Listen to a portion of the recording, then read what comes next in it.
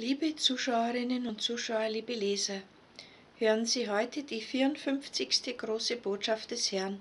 Sie trägt den Titel Das Gebet für die Mitmenschen. Am Abend des 23. Oktober 2021 setzte ich mich um 19.38 Uhr ins Schlafzimmer. Jesus begann zu sprechen. Meine Tochter, kränke dich nicht über das Verhalten anderer Leute. Je weniger du dich damit befasst, desto glücklicher wirst du durchs Leben gehen. Achte nicht auf sie, aber bete für sie. So kannst du für sie Gutes tun und den Wandel in ihren Herzen durch mich erwirken. Das Gebet füreinander ist sehr wichtig. Oft denkt ihr nicht daran. Es ist ein Akt der Nächstenliebe und bringt euch viel Verdienst ein. Ich rechne es euch hoch an, wenn ihr für andere, insbesondere für die schweren Sünder, betet. Betet für die, die euch verfolgen und für diejenigen, für die sonst niemand betet. Wenn ihr alle füreinander betet, wird das viel Segen auf euch herabziehen. Betet daher mehr und kritisiert weniger. Das Gebet ist stets die richtige Wahl. Bei Konflikten und Streitigkeiten, bei Neid und Missgunst, bei Hass und übler Nachrede. Durch das inständige und vertrauensvolle Gebet wird all das neutralisiert und unschädlich gemacht. Das Böse schadet euch seelisch und körperlich. Es kann viel Unheil anrichten und euren gesamten Alltag und euer Umfeld durcheinander bringen. Es fördert den Unfrieden und die Entzweiung, vor allem in den Familien. Betet daher auch besonders für den Frieden und die Versöhnung in den Familien, für die eigene und auch die in eurer Umgebung. Selig die Frieden stiften. Ich werde sie besonders belohnen. Meine Tochter, nimm stets deine Zuflucht zu mir im Gebet, wenn dich etwas kränkt oder bedrückt. Ich höre dir aufmerksam zu und lindere deinen Schmerz. Ich bin der große Heiler auch in den seelischen Angelegenheiten. Ich heile deine Wunden, die andere geschlagen haben. Denke oft an meine Herzwunde, die ich beständig trage.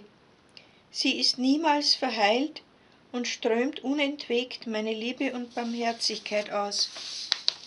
Betrachte meine Herzwunde und verehre sie in besonderer Weise. Damit ehrst du mich sehr und ich kann dir dadurch viele Gnaden gewähren. Meinem Herzen kannst du die besonderen Schätze entreißen. Dort bewahre ich die besonders hochwertigen Kostbarkeiten auf. Mein Herz ist also zugleich auch eine Schatzkammer für die edelsten Preziosen, die ich euch zu bieten habe. Nur wenige Menschen dringen in diese heiligen Räume vor. Nur wenige verstehen es, in mein Herz einzudringen, und nur wenigen öffne ich auch die innersten Türen, das Allerheiligste in meinem Inneren. Dort befindet sich mein Herz auf einem goldenen Thron.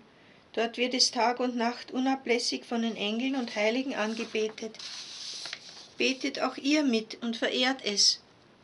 Es ist die edelste Tat, die ihr auf Erden verrichten könnt. Vereinigt euch gedanklich mit meinem Herzen und bittet mich darum, dass eure Herzen im gleichen Takt mit meinem schlagen mögen. Dabei geht es auch um die Gleichförmigkeit eures Willens mit meinem.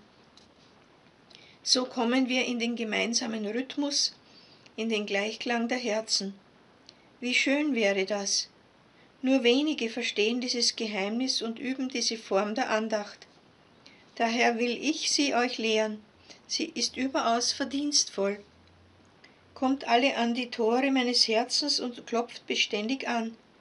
Ich als der Hausherr des Allerheiligsten werde selbst zur Tür kommen und euch aufschließen, wenn ihr dafür bereit seid. Diejenigen, die ich einlasse, sind meine besonderen Gäste. Sie dürfen an einem Mahl ganz mit mir alleine teilnehmen. Es ist das Festmahl der Vereinigung der Herzen.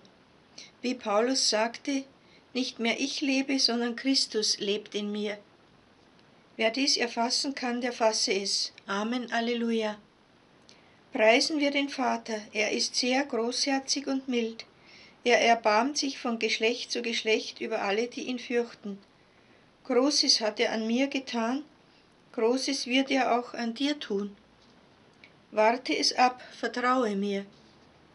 Meine Tochter, Die Menschen verstehen dich nicht und können mit deiner besonderen Berufung nichts anfangen, weil sie selber so weit weg von mir sind. Nur ich vermag das zu ändern. Ich werde sie wieder an mich ziehen, an mein göttliches Herz, weil ich mich nach ihnen, meinen Kindern, sehne. Verstehst du das? Ja, meine Tochter, du weißt, was ich meine. Du kennst meinen Kummer und hast Mitgefühl. Das rechne ich dir hoch an. Auch das ist überaus verdienstvoll für dich. So, meine Tochter, geh nun schlafen und ruhe dich aus. Morgen werde ich wieder bei dir sein. Amen, Alleluja. Geh hin in Frieden, ich küsse dich, dein Herr und Gott. Amen.